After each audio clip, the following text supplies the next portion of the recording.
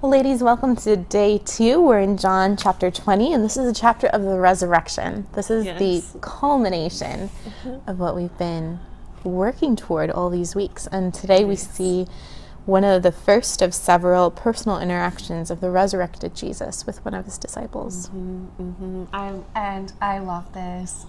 Ashrita, I mean, we see. Okay, here's Mary, dear Mary. She's mm. She's beside herself. Yeah. She's outside of the tomb weeping. Why? We talked about yesterday. She thinks someone has taken his body, um, and she doesn't know where it is. And so we see in verse 11, weeping, she wept. Uh, verse 13, weeping. 15, woman, why are you weeping? She's asked twice. And then all of a sudden, Jesus says her name.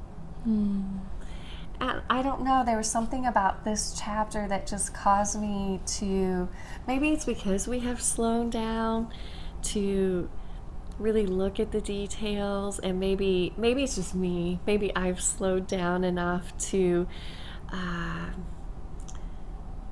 put myself in their shoes or to look at it with fresh eyes Yeah. and to say wow i mean did her heart just skip a beat at that moment you know what i mean yeah I think of that verse um, where Jesus says, I'm the good shepherd. The good shepherd knows his sheep. Um, and he calls them by name, and we see that here. So yeah, just just putting yourself in her shoes, like what would that be like? Mm-hmm. You're distraught and despair, and you hear him say your name. that's gonna make me cry even now Hmm. yeah anything stand out to you in this particular day Yeah, I mean, I I do.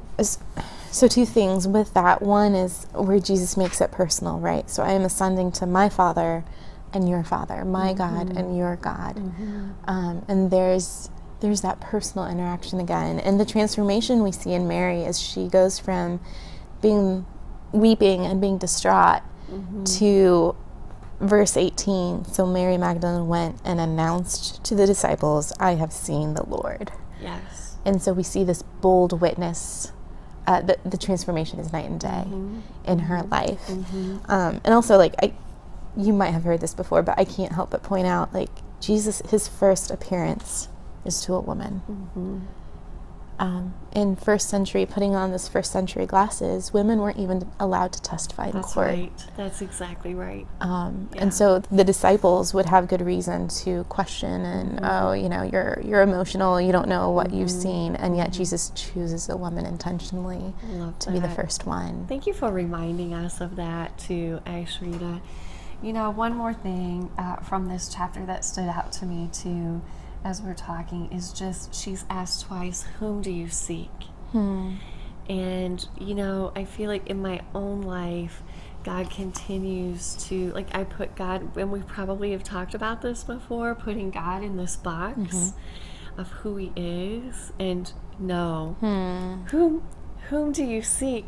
Look, seek a little bigger Yeah. here, Mary. You know, I'm the resurrection and the life. Like he he That's right. blows up her understanding of who he is. Absolutely. I love that. I do too. Uh, well, as you look at day two at Mary Magdalene and her personal interaction with Jesus, her transformation to belief, um, what are some things that have stood out to you? We would love to hear that and, and unpack that more in the comments.